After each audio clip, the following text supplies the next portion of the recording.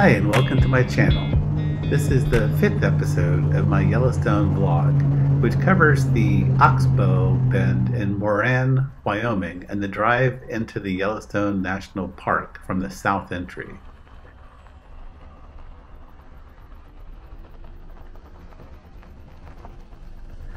The name Oxbow Bend reminds me of a lake in Canada's Banff National Park.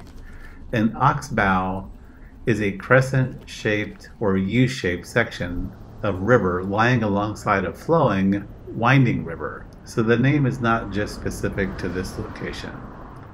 As a slow moving body of water, it is home to lots of water birds and water insects and other small animals. The Mount Moran looks majestic with its reflection on the surface of the calm water. Talking about insects, I found the best way to avoid bug bites is to wear loose, long sleeves and long pants. I saw a lot of women with like skin tight leggings that, while they might be comfortable, the wild mosquitoes found in the field can easily go through that fabric.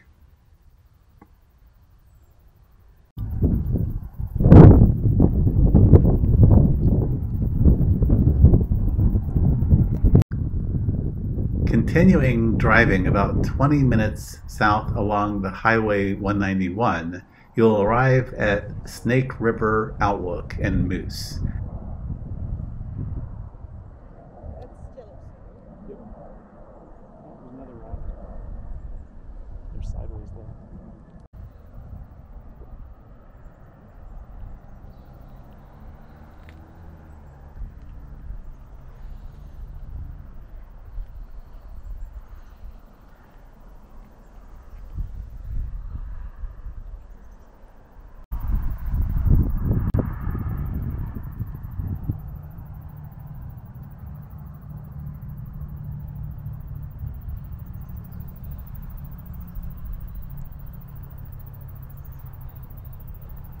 This is the spot where Ansel Adams took his famous picture in 1942, exactly 80 years ago.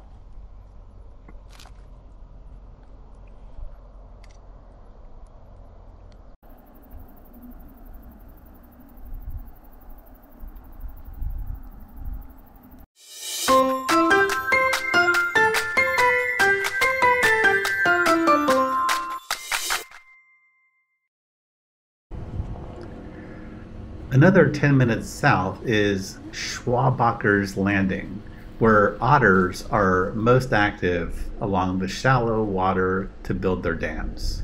The best time to view animal activity is dawn or dusk, when they come to drink the fresh water in this flat area.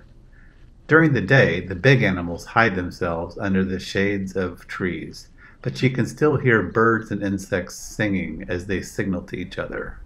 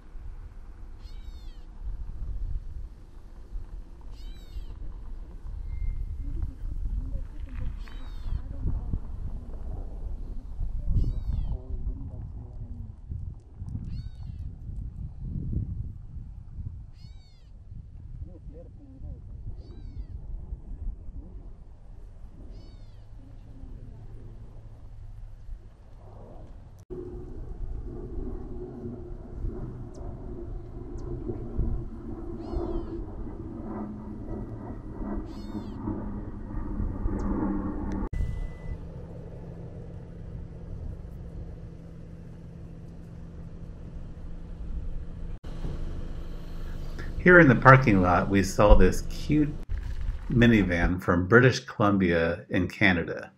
Love the cheerful spray paint, making it stand out among all the rugged muscle trucks and SUVs we saw all day long along the road.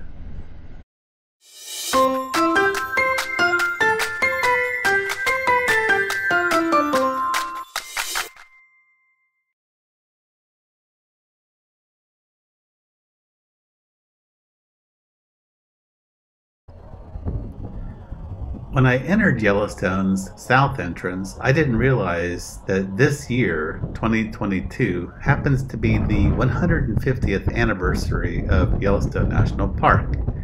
Yes, 150 years ago, that was the spring of 1872, the Yellowstone National Park Protection Act was signed into law, and so the Yellowstone National Park was born. We drove north on US Highway 191. Most of the route is in parallel to the Snake River. The speed limit inside the park is 45 miles per hour unless posted slower. But if you don't feel comfortable driving a big car along a narrow road at this speed, it's better to use the pullouts frequently than pushing yourself to get used to the speed. In general, the roads of the South Loop are easier to drive than the winding roads of the Northern or Upper Loop. So I recommend visiting the South Loop first and get used to the traffic conditions before visiting the North. Here you can get a view of the Snake River a few hundred feet down in the river valley. You can see that pine trees grow right on the dark and bare rock cliff. The cliff is hundreds of feet of drop from the top, so be very careful when you use the pullouts on the roadside. You can see some of the rails are very rusty and some sections are missing. If you back off the cliff, the young and brittle pine saplings won't be able to stop your car.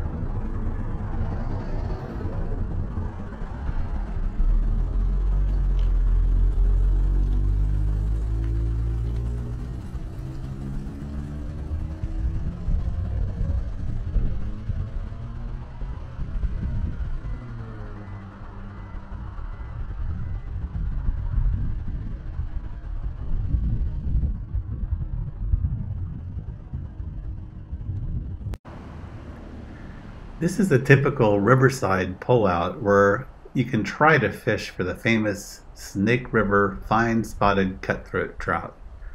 Small cutthroat trout feed on aquatic insects, but those over 12 inches feed mainly on other smaller fish, and occasionally they would eat small animals. A rule of thumb is that one year old cutthroat trouts can grow to four inches, and a three year old can reach around a foot in length. They are one of the easiest trout to catch on hook and line. However, since the cutthroat trout is one of the native fish, it must be released unharmed.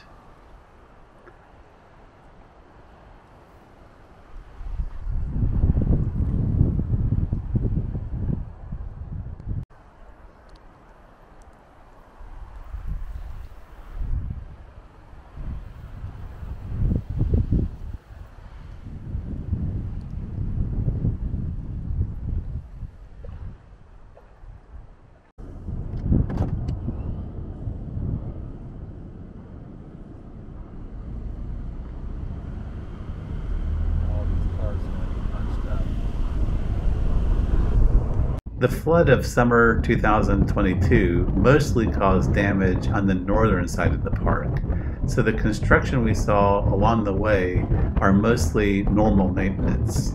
That said, I read that the deferred maintenance of the Yellowstone Park amounts to $700 million and could go higher considering the inflation rate of this year.